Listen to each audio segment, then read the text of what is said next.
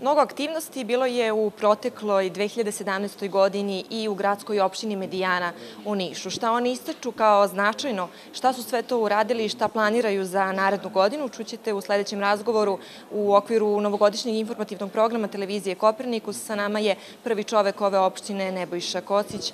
Dobrodošli na Kopernikus. Dobar dan, poštovanje vama i vašim gledalcima.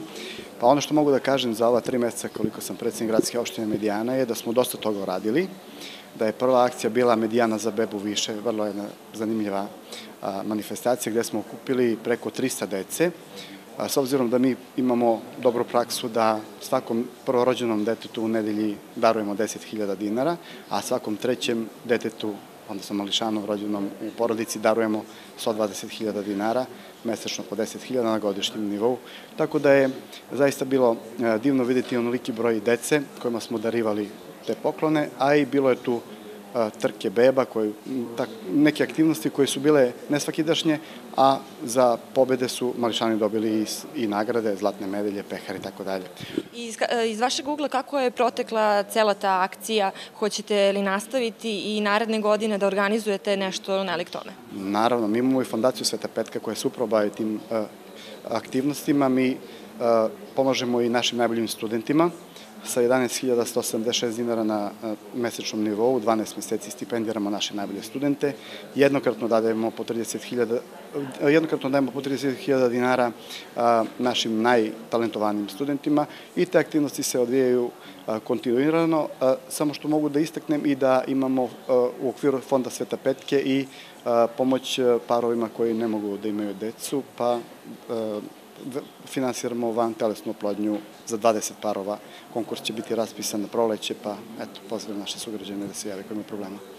Kraj godine jeste prilika da se sumiraju rezultati koji su urađeni u e, godini koja je već sada za nama i ima tu i lepih stvari, upravo ovo što ste rekli, ali e, borite se i sa različitim problemima kao i svi u nekim drugim gradskim opštinama. Šta vi ističete kao najveći problem gradske opštine Medijana? Pa komunalna pitanja su naj, najkritičnija. Mi se bavimo zaista tim, tom problematikom ozbiljno. E, dosta smo postavili 62 kontejnera, u planu je do nove godine da se stavi još 19. Postavili smo solarno drvo kao jednu inovativnu stvar koju bih istakao ovom prilikom. Sedam solarnih drveta smo postavili na teritoriji gradske opštine Medijana, nešto, što, nešto čime možemo da se pohvalimo kao jedini grad u Srbiji koji ima takvu vrstu, takav projekat smo realizovali i mogu bih ukratko da kažem da se radi znači, o jednom solarnom panelu koji transformiše solarnu energiju. omogućili smo našim sugrađanima da napune svoje telefone, svoje tablet, račun, tablet, tablet računare, omogućili smo da ljudi jednostavno podignemo svest naših sugrađana o tome da je zelena energija ono što je najbitnije i mi upravo imamo obavezu prema Evropskoj uniji da do 2020. godine 27% energije koja se proizvede upravo bude iz obnovljivih izvora. Tako da smo taj projekat realizovali, ali imamo još projekata tog tipa koje ćemo realizovati u narednoj godini kao što je pametna klupa i još neke stvari o kojima možemo da pričamo. Pa šta vas onda sve to očekuje u narednoj godini? To ste nabrojali iz e, tog projekta, ali to pretpostavljam da nije jedini projekt, projekat, nije jedini plan. Šta vas očekuje u narednoj godini? U narednoj godini, znači, pored solarnog drveta koje smo uh, postavili, imamo uh, te, planiramo, znači, te pa, pametne klupe.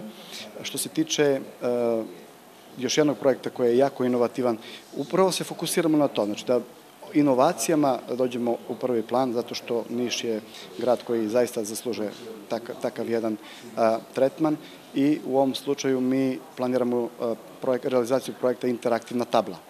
Ukratko bih mogao da opišem to tako što na 30 cm priđete LED monitoru koji će biti zaštićen anti-vandal sistemom Izabrat ćemo nekog najpoznatijeg Nišliju koji se pojavljuje na toj interaktivnoj tabli. U interaktivnom razgovoru sa njim vi dobijete informaciju o tome koja je turistička destinacija najatraktivnija, gde, koji restoran možete da posetite ukoliko dođe dete sa strane, gde može da nabavi skript i tako dalje. Znači, celokupna observacija svih problema koji se nalaze na teritoriji naše gradske opštine i grada možete da dobijete upravo preko LED ekrana i da jednostavno vam ukaže taj naš najpoznatiji Nišlija koje je najbliže prevozno sredstvo, kako možete doći do des, željene destinacije i tako dalje. Zaista puno stvari koje smo započeli realizovat ćemo u narednoj godini.